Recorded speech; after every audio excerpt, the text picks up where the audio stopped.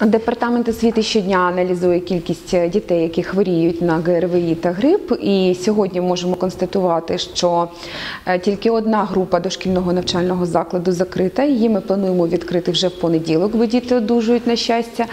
Е, Серед школярів хворіє менш ніж 10% дітей. Тому ми підтримуємо ініціативу лікарів і е, те, що те рішення, яке прийняла сьогодні ТЕП про відновлення навчально-виховного процесу. Вже в понеділок діти повернуться до школи. Батьків дуже цікавить питання відпрацювання тих днів, які діти пропустили. Як ми і повідомляли раніше, відпрацювання по суботам та відміни весняних канікул у нас не буде. Діти будуть працювати у звичайному режимі.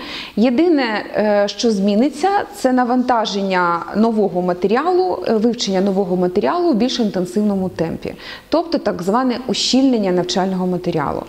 Це е, стосується методичної підготовки до кожного уроку конкретного вчителя. Вчителі знають, як справлятися з цією ситуацією. Тому батьки е, можуть е, очікувати весняні канікули, вони будуть у запланованому режимі.